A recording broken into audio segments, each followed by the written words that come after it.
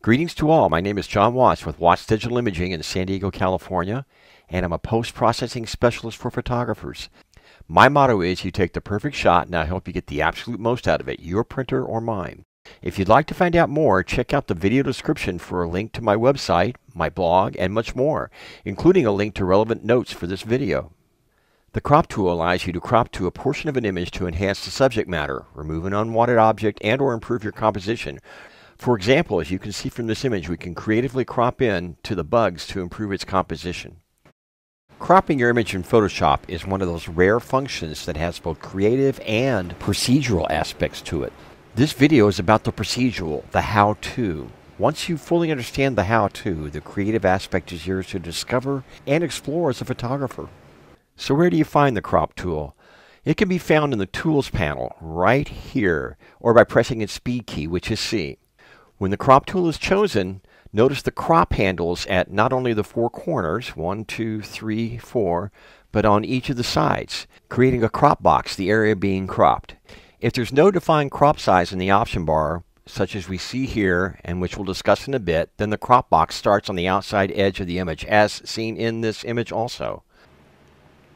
To get started, click on a crop handle, hold the mouse button down, and drag the handles to the desired crop, like this. So I'm just holding my mouse button down, so on and so forth. You'll notice that the mouse cursor changes to a double-headed arrow as it's hovered over any crop handle, regardless of which one it is. Now you can click, hold, and drag any crop handle to create the crop box. You'll also notice that a grid appears and it generally only appears after you've moved a crop handle. More on the grid throughout this video, by the way. As an aside, you can click on the cancel button in the options bar at any time to cancel and start over, right here.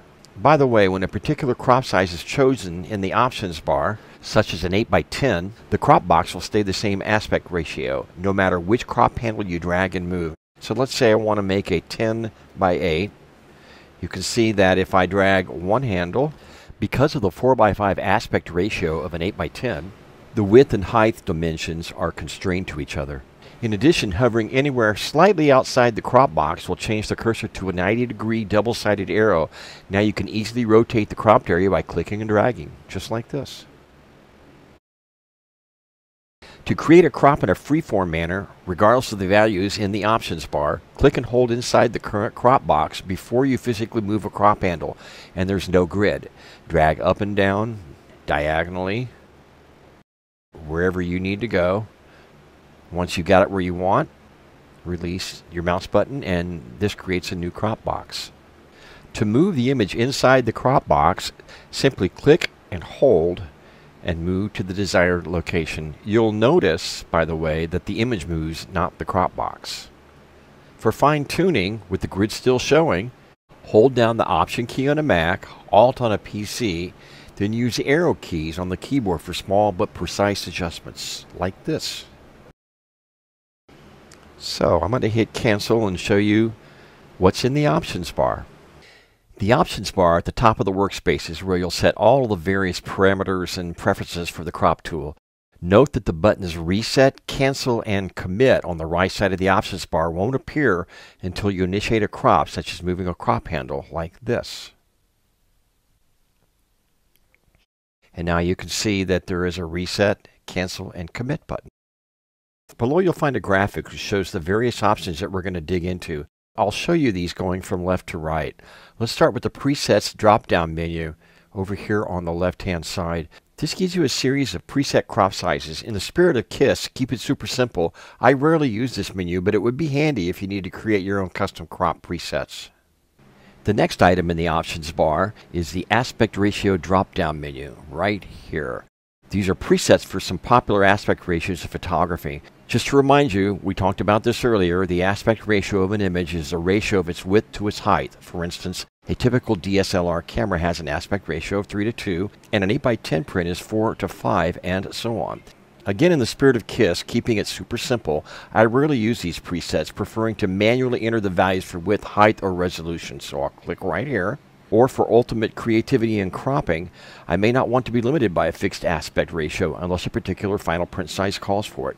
So this is my preferred method, assuming that I'm creating a custom crop to maximize the creative aspects of the image. I'll leave the width and the height boxes empty, not at zero by the way, but by deleting any values with the delete key on my keyboard. I'll generally leave the resolution at 300 ppi because that's the best resolution for a master file in printing, which of course is my primary area of interest.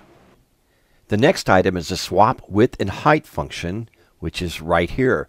And this is pretty self-explanatory. If you put values in here, and I'll put 10 inches by 8 inches, it allows you to reverse those values. So perhaps I've entered these values incorrectly, or I want to see what a vertical crop will look like. I'll click here. And of course, the next item is the clear button. And again, that's self-explanatory. I can click here and all those values disappear. And I'll hit cancel. The next item is the straighten function, and I'm going to use this new image to show you how this works. If the horizon of your digital image is not straight, it can be really distracting, like you see here. Here's an easy way to straighten it in Photoshop. First, activate the crop tool, so I'll do that right here. Next thing is you want to clear the width and height and resolution values. I'll use the clear button. The next thing is to press the straighten icon in the options bar. Now, while holding down your left mouse button, draw a line along the horizon in your image. For this image, the horizon has some curvature to it, so I'm going to use the water line on the rock formation like this. And you can go left to right or right to left, it doesn't matter. When I let up off the mouse button, the image is straightened and cropped so that the crop box fills the image. If you need to reshape your crop box, by the way, do it now, otherwise just leave it alone. Commit to the crop by pressing the commit button, the check mark in the options bar, like this. And voila, your horizon is now straight. By the way, this technique works equally well if you need to straighten vertically, such as architectural photography. So I've gone back to the bug image to show you these last few items in the options bar. The next item is the View Overlay drop-down menu, and it's right here. Here's an easy way to judge the crop properly with a grid overlay. By default, the grid overlay is the rule of thirds, which is what you've seen throughout this video. Be sure to check out the other views.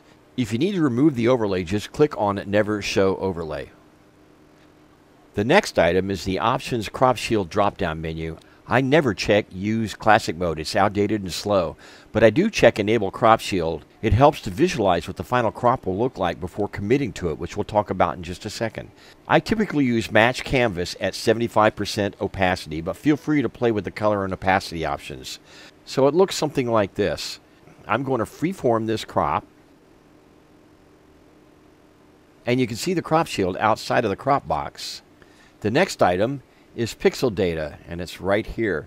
This determines if pixel data outside of the crop box is retained or deleted. I leave this button on as shown, which deletes the pixel data. It's still in the master file if needed. The next item is the reset button. Pressing this clears the crop box, image rotation, and aspect ratio settings. I rarely use it. The next item is the cancel button. This completely cancels the current crop operation and you'll lose all settings. By the way, the escape key in your keyboard does the exact same thing. Once you have everything set the way you want it, pressing the check symbol commits to the current crop operation, like this. And that's how you accurately crop an image in Photoshop Creative Cloud. I'm John Watts. Thanks again for watching this video, and be sure to check out the video description for a link to my YouTube channel, my website, my blog, and much more. Questions? Feel free to contact me. Think of me as your Photoshop coach. Cheers, and have a great day.